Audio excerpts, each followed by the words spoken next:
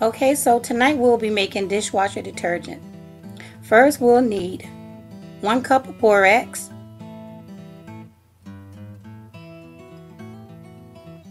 one cup of super washing soda, one quarter cup of baking soda, one quarter cup of salt, and I'm using sea salt, 2 tablespoons of citric acid. And if you don't have citric acid, you can also use lemon Kool-Aid. So just dump all that into a bowl and use a spoon.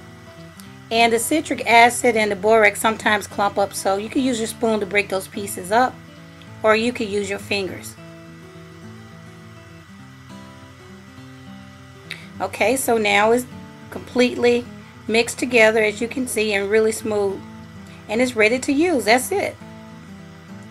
So all it would take is one tablespoon for your dishwasher for each load.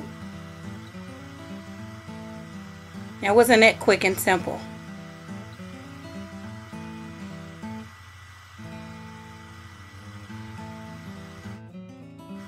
So now all you have to do is find a container to put your powder in. And I like to use my mason jars. So just pour your powder inside a jar or a bowl with a lid, it doesn't matter. And here, and I'm just using one of my spoons, uh, well, one of my measuring cups to pour the powder into my mason jar. And that's it, guys. And I actually had a little bit left over. And, um, oh, this is just the top that I decorated with some glitter. Um, I'll be doing a tutorial on that too on my craft channel and this is just the leftover that I had so I'll be using the leftovers first. And that's it. So here's a tablespoon just one tablespoon for each load.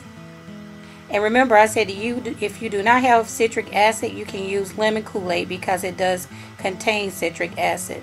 And if you have hard water you might want to use four packets of lemonade Kool-Aid if you don't have the citric acid and this is a glass that I just took out the dishwasher.